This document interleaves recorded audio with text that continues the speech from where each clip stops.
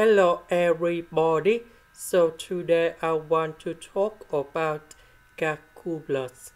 The topic that is about limit. So now I want to show you how to answer.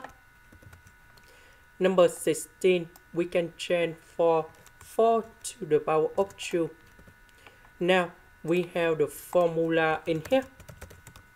That is about a minus b multiplied by a plus b equals to a square minus b square.